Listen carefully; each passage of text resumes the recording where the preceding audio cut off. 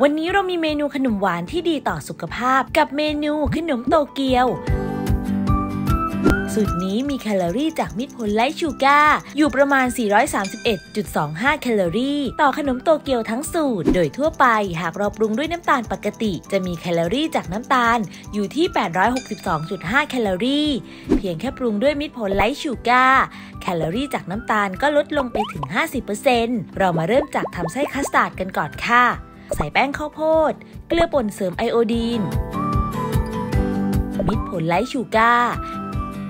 นมข้นจืด และไข่ไก่ลงในหม้อตุ๋นคนให้เข้ากันแล้วตั้งไฟ คนตลอดเวลาจนกระทั่งส่วนผสมสุกข้นแล้วปิดไฟ เติมเนยสดชนิดเค็ม คนให้เข้ากัน พักไว้ให้เย็น เตรียมไว้ วิธีทำขนมโตเกียว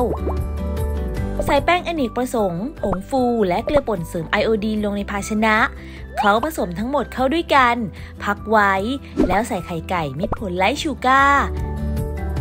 นมข้นจืด กลิ่นวานิลาชนิดน้ำ และเนยสดชนิดเค็มละลาย ลงในภาชนะ คนส่วนผสมทั้งหมดเข้าด้วยกัน เติมแป้งที่ผสมไว้ คนจนเข้ากันดี